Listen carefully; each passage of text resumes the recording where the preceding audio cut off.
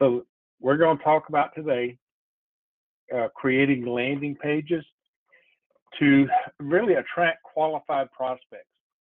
We've done some analysis of uh, just like an audit. We've taken some samples of our referral partners, looked at their website. So what we found is that too too many of you do not have a website, and that in itself is disturbing. Then we did look at the ones who have a website, and we found that they were not properly optimized. They did not have the proper information. So it's this today, this class today. I'm I'm almost begging you to take this to heart and make the changes we're talking about here. The modern customer, the customer of today, is looking online and making a decision about you without you even knowing it.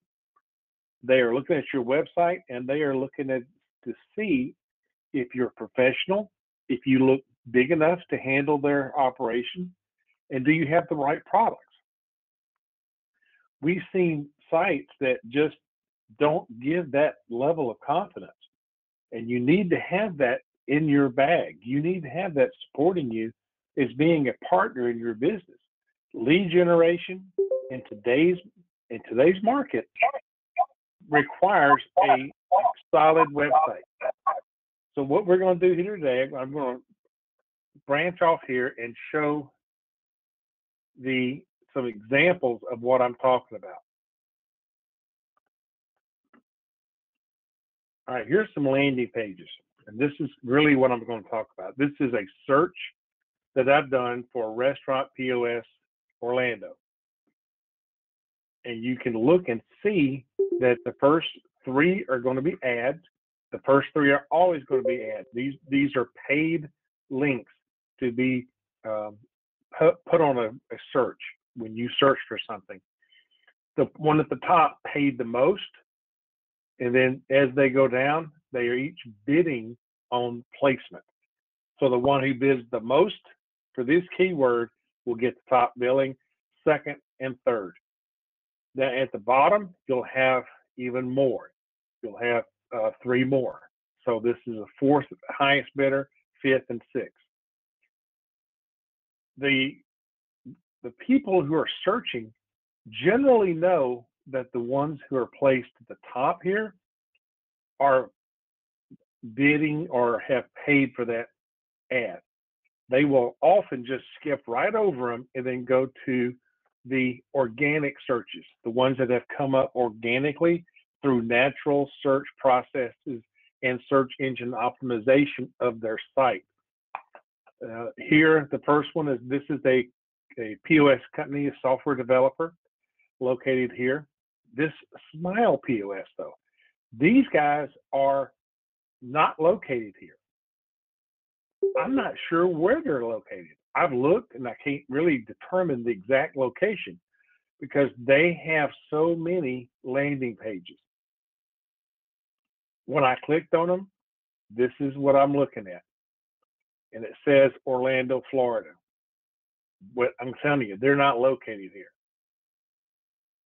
If you want to find out any more about them, you can look and see they have the same web page for every location. This is what a landing page is. This is what they're using to make you or the merchant believe that they are located here in the Orlando area. They're not. You can go here to locations, look for complete, just click on something, and these are where they narrow it down. These are all the little cities in this area, counties and cities. They're not located in all these, but nonetheless, they're making you or making the merchant believe that. This is a town here close to me that is 40,000 people. It's a bedroom community. People live here and work someplace else. So there's no really true businesses. And I can promise you there's not a point of sale guy here. But nonetheless, here you go. They make it look like they are all over Apopka.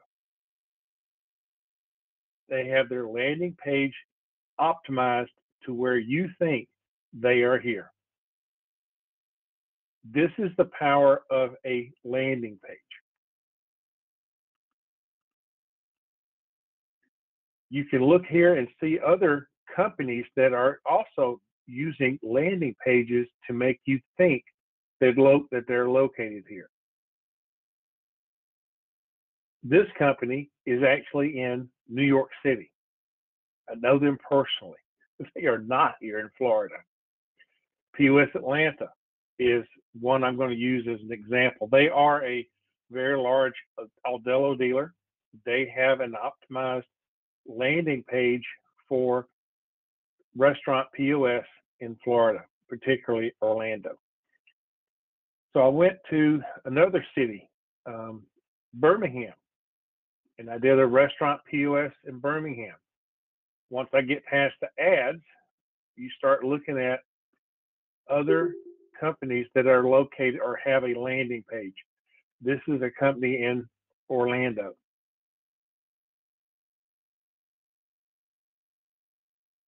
Uh, let's see. Some of these are located there.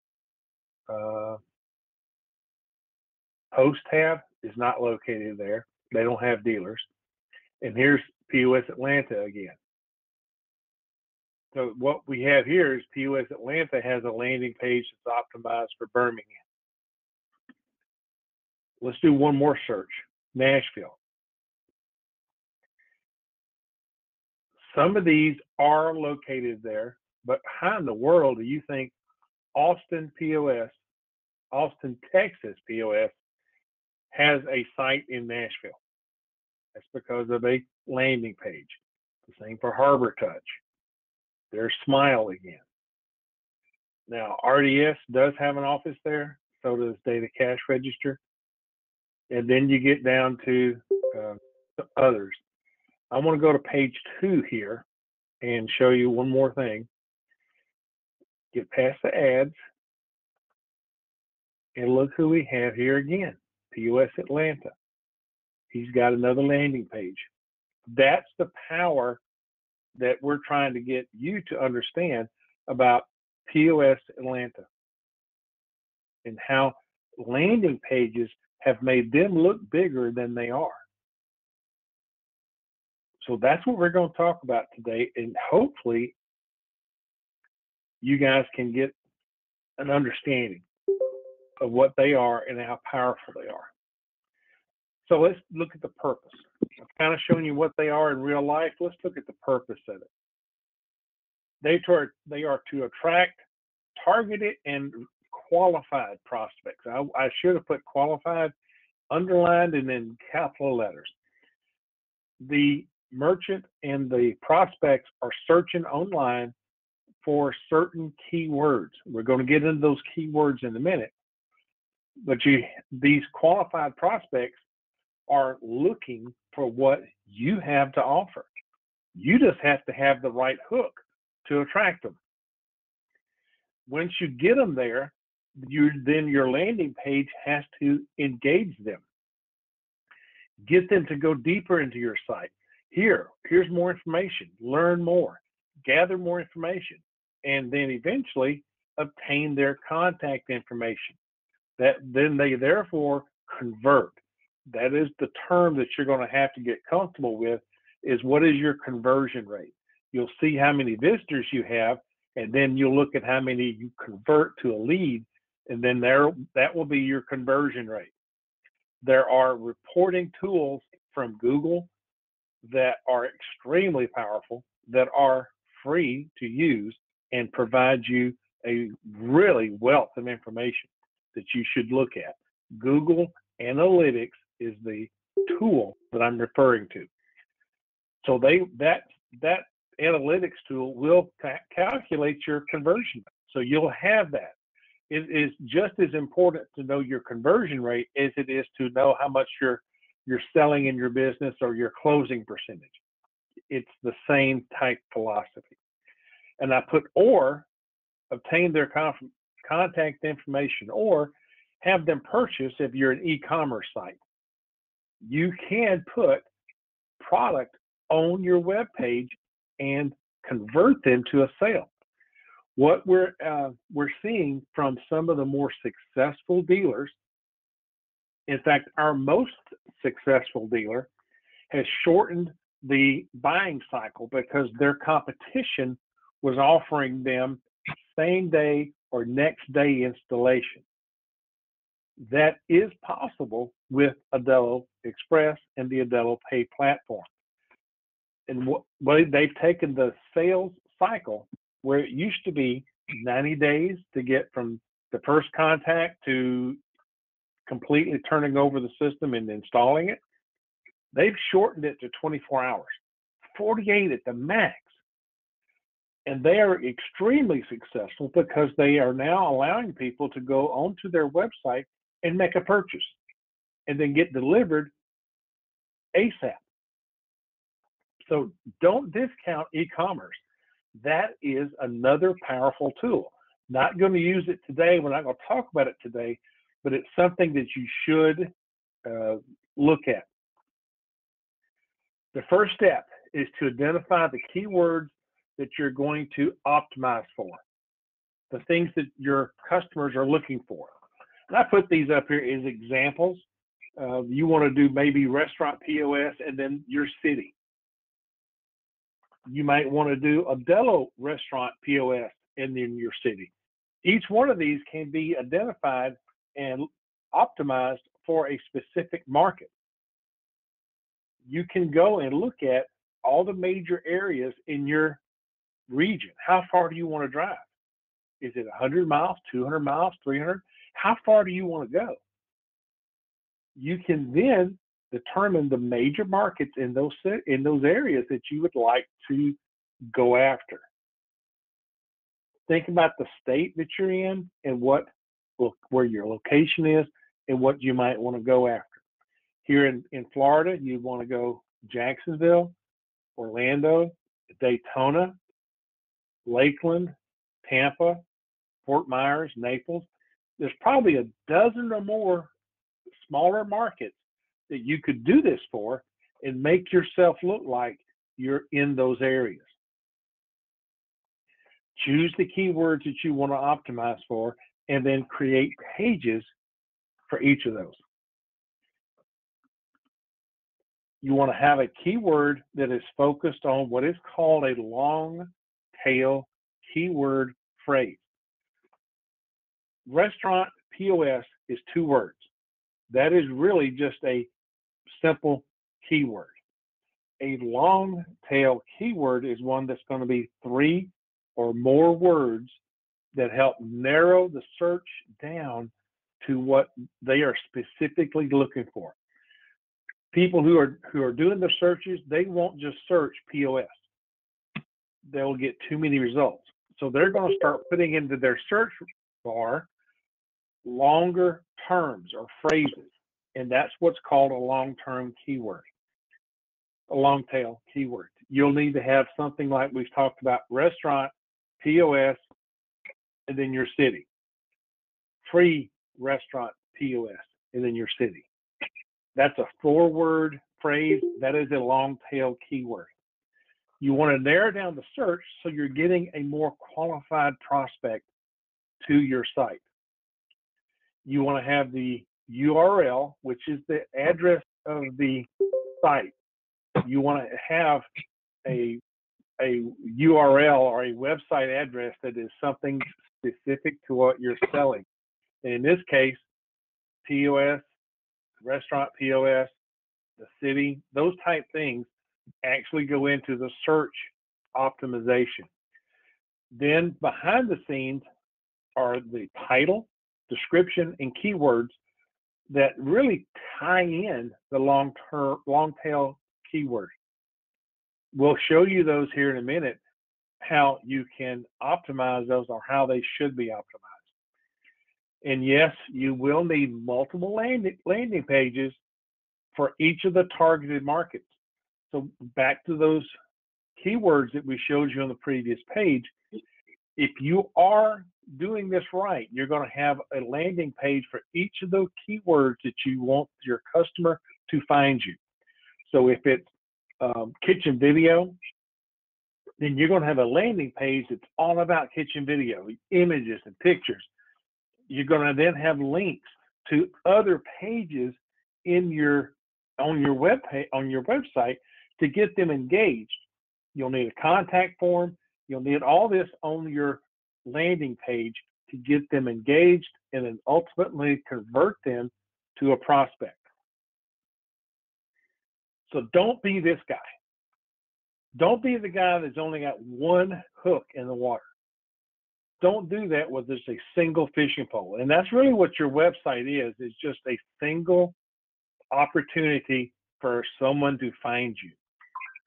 If you have a single opportunity for someone to find you will only result in a very few catches, if you will. Put more hooks in the water. It just makes sense. You're going to catch more fish if you put hooks in the water. Be this guy. Be the guy who's got all these hooks in the water, bringing in all these fish and all these prospects and all these these leads and you need to be this guy. Have those several hooks and then create more leads.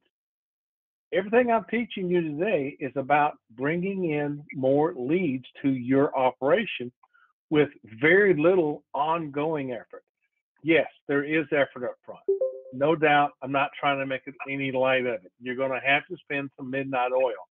But during this quarter, we all know that the POS industry is it always takes a downturn in Q4.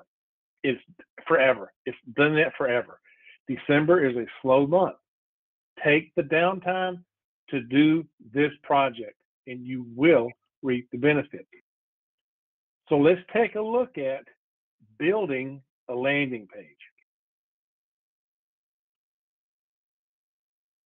What I've done is actually we've created some landing pages for us to play with on the Aldelo.com website.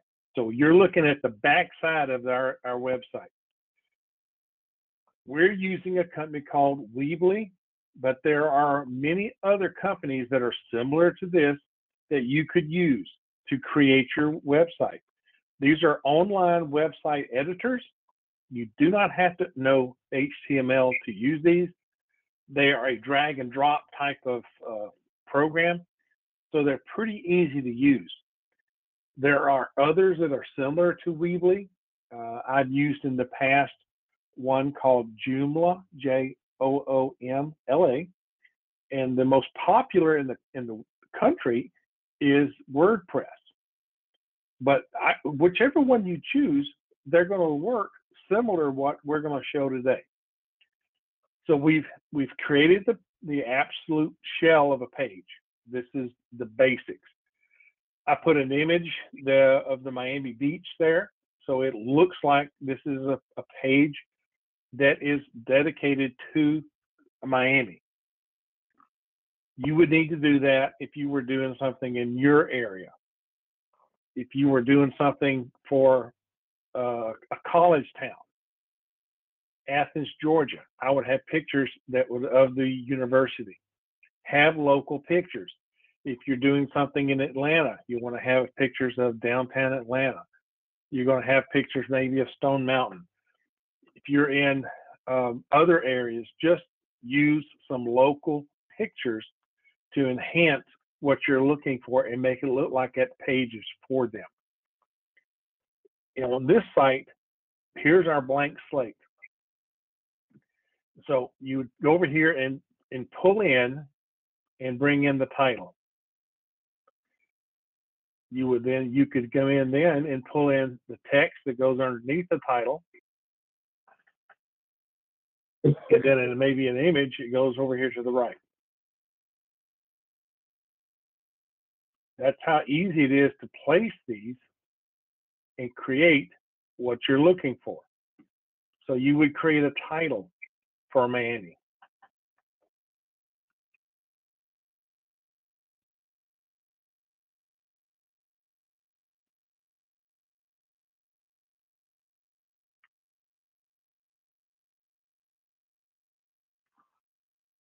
underneath, you're going to have the,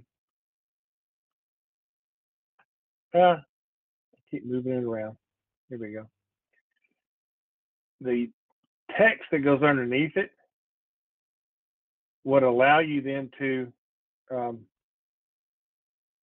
write something specific for that area and something specific for that web page. And you'd want to have it located or give some locations. Uh, in the in the Miami area, you would talk about Key West, you talk about Hialeah. You're going to talk about the different areas there, and actually put those city names in. So you're going to want to name that and put those street name or area names. You want to have a um, image of Miami.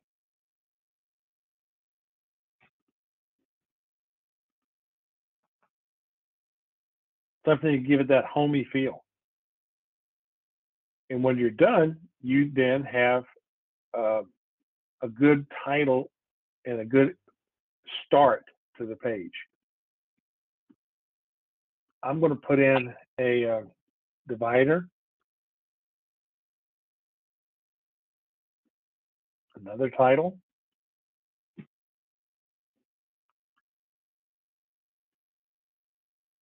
Now I've created two columns. So maybe in this column I want to go uh,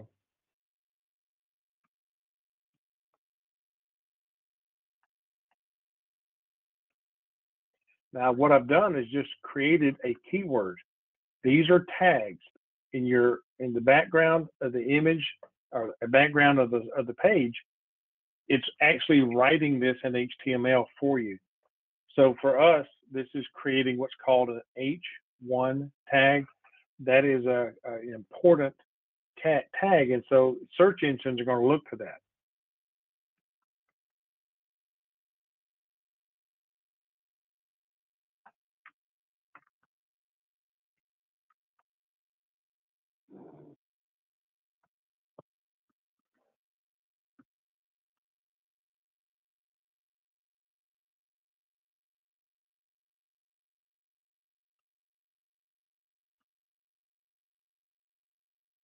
So here I just just use bullet points.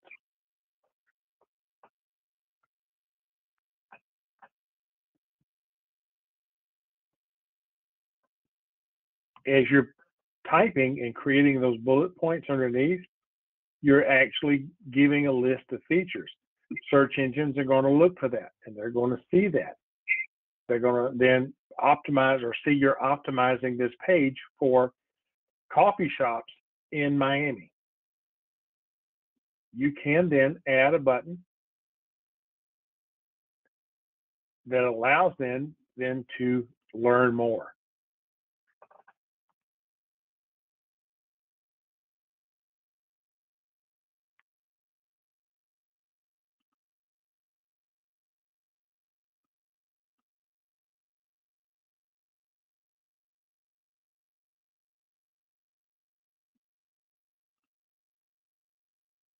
Choose the style of the button you want to have, and then center it, and then put a link. And I'm going to link this to a page that's already in our site. This is what I was referring to when you want them to engage. So they want to learn more about your uh, coffee shop operation. So now when they when this page is published, they see the coffee shop POS is, is the area they're looking for. You're going to have the bullet copy of all the features that are referring to a coffee shop POS. And then if they want to learn more, they click here and they then engage and go further into your website. You would do that for every type of restaurant that you're going to optimize for on this page.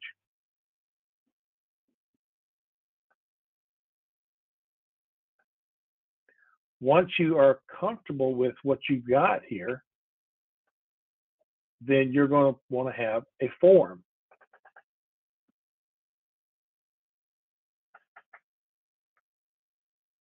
If you'll also notice here on the left, that the uh, you have links for YouTube videos that uh, kind of go in hand in hand on what we did last week when I taught you how to do the um, videos. You can add videos to your web page to kind of give it even a better look and feel.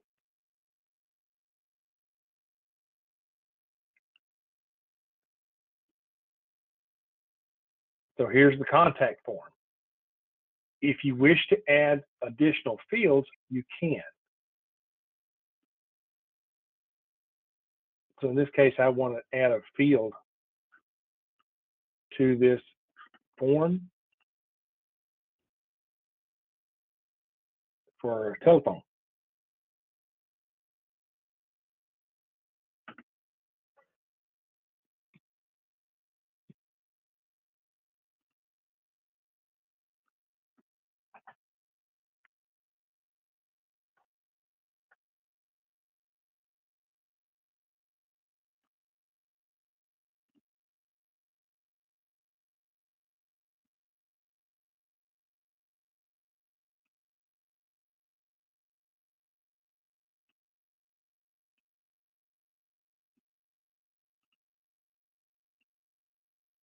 Once you're done, you can then publish this page and it will then, um,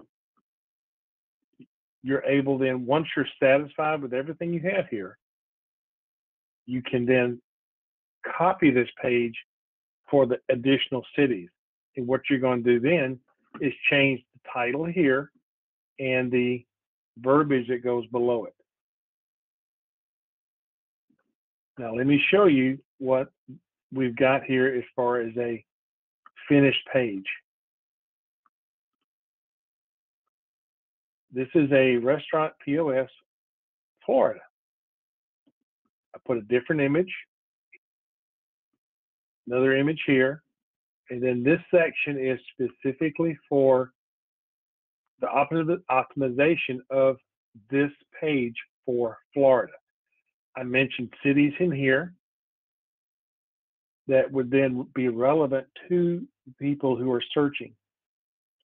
Once we do the search engine optimization, we're going to make sure that the words Orlando, Tampa Bay, Tallahassee, Miami, Jacksonville are in the optimization so that when somebody's looking for restaurant POS, Jacksonville, Florida, this page will come up. Below that are is is not, not really boilerplate, but it's going to be the same thing for every site, for every one of our landing pages. You have images, you have learn more under each area, under each type of restaurant. These lead to pages that are already on our website for additional information. So yes, you will have to have um, a, a coffee shop POS web page so this can link to it. When you get to the bottom, there are um, there's your get a free demo. This is our, our lead conversion. Be sure and put your other contact information here, such as phone number and email.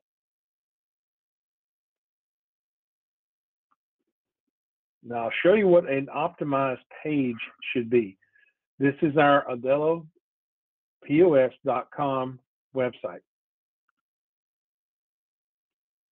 In viewing the source, you'll see this is what HTML looks like. For some of you, this may be the first time ever seeing it, but this language is what is being created by us doing the drag and drop and adding in the image or whatever. This is now that Weebly site is creating this HTML. So what you're starting here, you look at the top and you see the word head. That tells you that it's starting the heading of the uh, page. There'll always be a slash head where there's the end of it. But right now we're going to talk about the very first thing is the word title. So here is the title for our web page. This is page specific. So SEO is going to have the Aldelo POS or Aldelo Cloud POS, Aldelo Restaurant Point of Sale.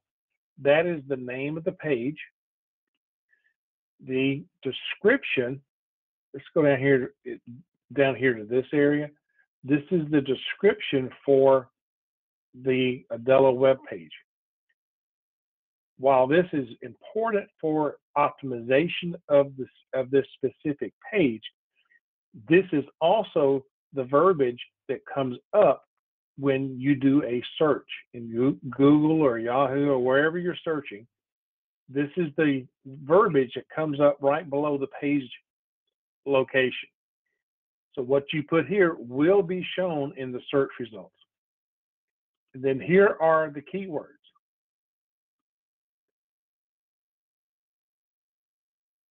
You just simply type the keywords in and put a comma between them. This has to be page specific. Each one of these three things that I've just shown you, keywords, description, and title all have to be page specific. So when you have a coffee shop POS page, your your title, description, and keywords have to be about coffee, about coffee shop stuff. Same thing for pizza. You don't put coffee shop tags and keywords on a pizza page. They have to be done specific to the page.